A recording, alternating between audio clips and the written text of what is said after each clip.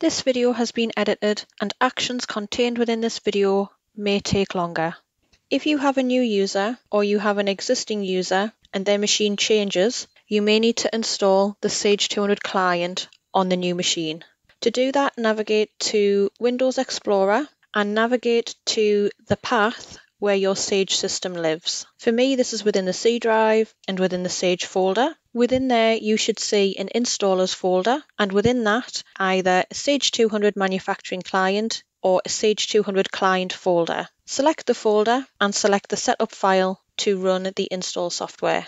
Select install on any prompts, and provided you have the ability to install software, the software will be installed. You may need help from your IT if you have user account control turned on within your organization. The install may take a few minutes to complete. When the install is complete, the program will attempt to open. If the user has been assigned company access and they have access to multiple companies, the select company form will display. If the user has access to one company, Sage will open for that assigned company. When the install is complete, the software will open.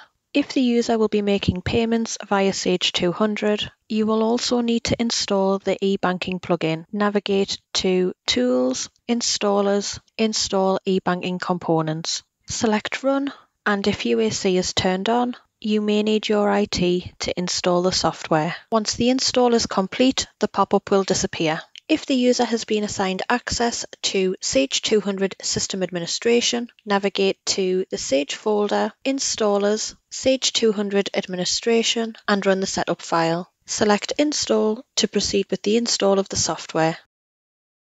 When the install is complete, the software will open.